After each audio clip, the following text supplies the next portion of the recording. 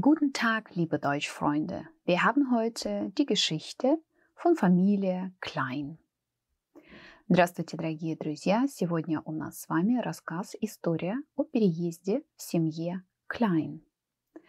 И этот текст примерно уровня А2, B1, А2, B1 – это среднего уровня текст, поэтому сегодня я хочу поменять для вас формат.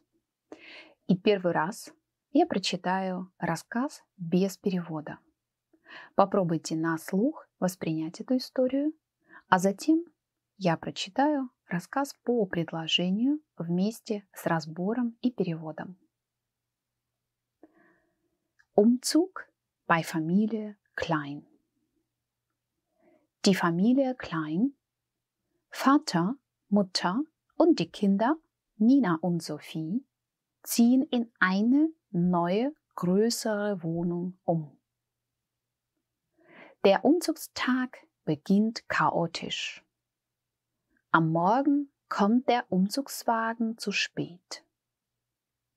Der Fahrer findet die neue Adresse nicht.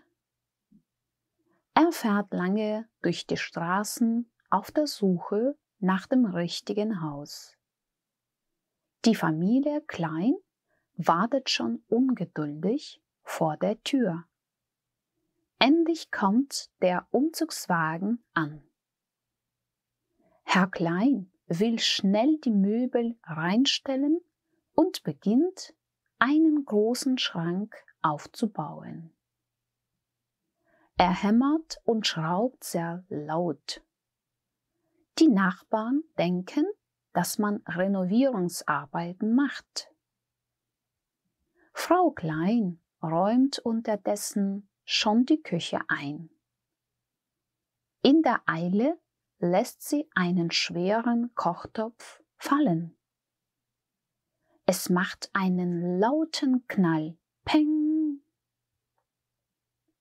Frau Hofmann von nebenan erschrickt bei dem Krach. Sie denkt, in der leeren Wohnung wurde eingebrochen und ruft vorsichtshalber die Polizei. Die Kinder Nina und Sophie haben inzwischen schon ihr Kinderzimmer in Beschlag genommen. Sie hüpfen vor Freude auf ihren neuen Betten herum. Der Nachbar unter der Wohnung klopft wütend an die Decke, weil der Lärm ihm beim Arbeiten stört.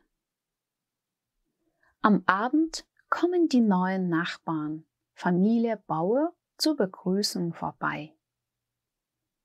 Alle zusammen lachen herzlich über die Missverständnisse und Pannen beim Einzug.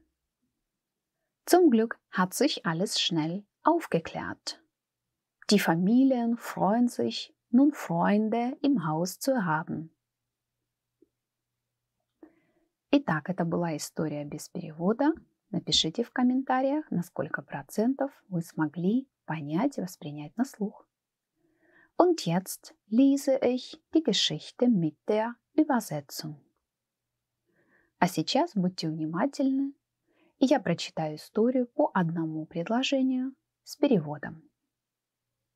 Umzug bei Familie Klein. Переезд в семье Klein.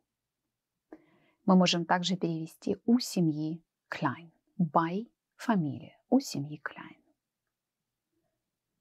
Die Familie Klein, Vater, Mutter und die Kinder, Nina und Sophie, ziehen in eine neue, größere Wohnung um.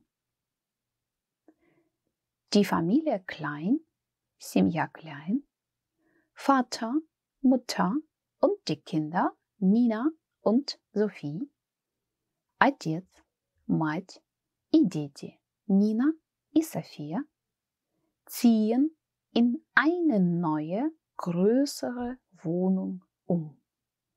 Переезжают в новую, большую квартиру. Я подчеркиваю ваше внимание. Größere. Большая.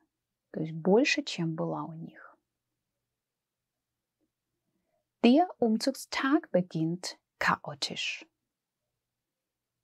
Der Umzugstag, день переезда, beginnt chaotisch, начинается хаотично.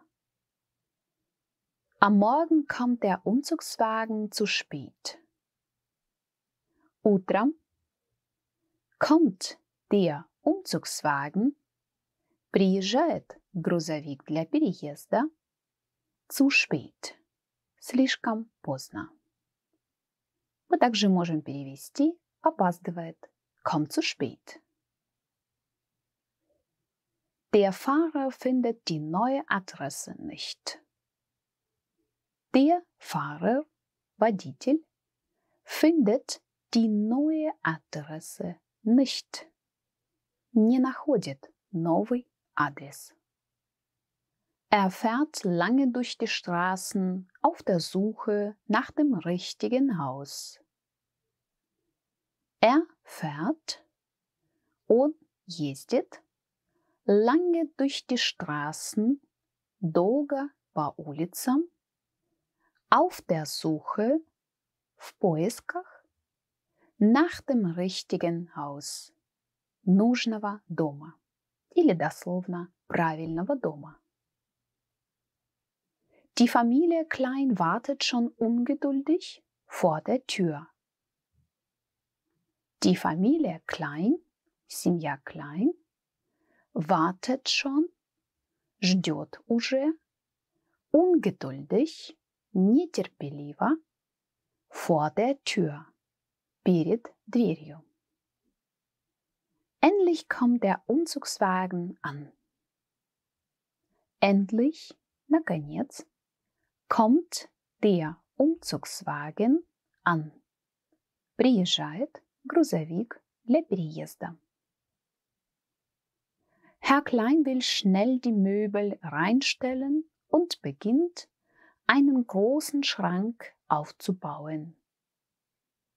Herr Klein will schnell, господин Klein хочет быстро, die Möbel reinstellen, занести, поставить внутрь мебель. Und beginnt и начинает einen großen Schrank aufzubauen. Собирать большой шкаф. Er hämmert und schraubt sehr laut. Er hämmert und стучит und schraubt sehr laut и вкручивает очень громко. Хочу обратить ваше внимание на глагол hämmern – стучать молотком. От слова hammer – молоток. Der Hammer – молоток. Hämmern – стучать молотком. Дословно он стучит молотком. Er hämmert. Die Nachbarn denken, dass man Renovierungsarbeiten macht. Die Nachbarn denken, Соседи думают, dass man Renovierungsarbeiten macht, что делают ремонтные работы. Frau Klein räumt unterdessen schon die Küche ein. Frau Klein, госпожа Klein, räumt unterdessen, убирает тем временем, schon die Küche ein уже кухню. Räumt ein. Можем перевести как убирает, расставляет. In der Eile lässt sie einen schweren Kochtopf fallen. In der Eile, в спешке, lässt sie einen schweren Kochtopf fallen. Она роняет тяжелую кастрюлю. Lässt fallen. Обращаю внимание, дословно можем перевести позволяет упасть. Lässt fallen. Es macht einen lauten Knall. Peng. Es macht, раздается, einen lauten Knall. Громкий грохот. Peng, Bach. Frau Hofmann von nebenan erschrickt bei dem Krach. Frau Hofmann, госпожа Hoffmann, von nebenan, из соседней квартиры. Nebenan – это рядом, находящийся рядом. Erschrickt – пугается bei dem Krach от шума. Дословно при шуме, bei dem Krach. Sie denkt, in der leeren Wohnung wurde eingebrochen und ruft vorsichtshalber die Polizei. Sie denkt, она думает, in der leeren Wohnung, что в пустой квартире, wurde eingebrochen. Произошла кража со взломом. Произошел взлом. Und ruft vorsichtshalber и вызывает на всякий случай die Polizei, полицию. Die Kinder Nina und Sophie haben inzwischen schon ihr Kinderzimmer in Beschlag genommen. Die Kinder Nina und Sophie, Дети Nina и София haben inzwischen тем временем schon ihr Kinderzimmer in Beschlag genommen. Уже заняли свою детскую комнату. Sie hüpfen vor Freude auf ihren neuen Betten herum. Sie hüpfen vor Freude, они прыгают от радости auf ihren neuen Betten herum. На своих новых кроватях. Der Nachbar unter der Wohnung klopft wütend an die Decke, weil der Lärm ihn beim Arbeiten stört. Der Nachbar unter der Wohnung, сосед снизу, дословно сосед под квартирой, klopft wütend, стучит зло, разъяренно, wütend, an die Decke, по потолку weil der Lärm, так как шум, ihn beim Arbeiten stört, мешает ему работать. Am Abend kommen die neuen Nachbarn, Familie Bauer, zur Begrüßung vorbei. Am Abend, вечером, kommen die neuen Nachbarn приходят новые соседи, фамилия Бауэр, семья Бауэр, zur Begrüßung vorbei, для приветствия, знакомства. Kommen vorbei, дословно можно сказать, заходят, приходят мимо, если переводим дословно. Vorbei, мимо. Alle zusammen lachen herzlich über die Missverständnisse und Pannen beim Einzug.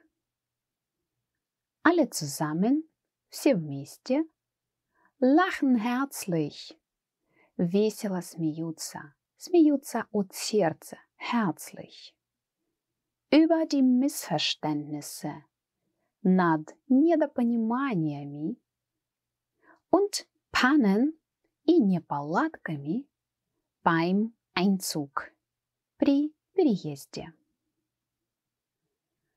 Давайте, друзья, два слова из этого предложения возьмем с вами для того, чтобы запомнить. Das Missverständnis, недоразумение или недопонимание, Missverständnis. Die Panne, неполадка, авария, поломка. Zum Glück hat sich alles schnell aufgeklärt. Zum Glück, к счастью, hat sich alles schnell aufgeklärt. Все быстро прояснилось. Die Familien freuen sich, nun Freunde im Haus zu haben. Die Familien freuen sich, семьи рады или радуются, nun Freunde im Haus zu haben. Иметь друзей теперь в доме. Или мы можем перевести, что теперь у них появились друзья в доме. So war die Geschichte heute. Итак, такая история была сегодня. Schreiben Sie in den Kommentaren, hat die Geschichte Ihnen gefallen? Напишите в комментариях, понравилась ли вам история. И какие, возможно, у вас были недоразумения, missverständnisse с соседями, немцами или иностранцами, там, где вы живете сейчас. Ich wünsche Ihnen viel Spaß beim Deutschlernen. Я желаю вам успехов и удовольствия в изучении немецкого языка. С вами была Мила Брандт. Auf Wiederhören!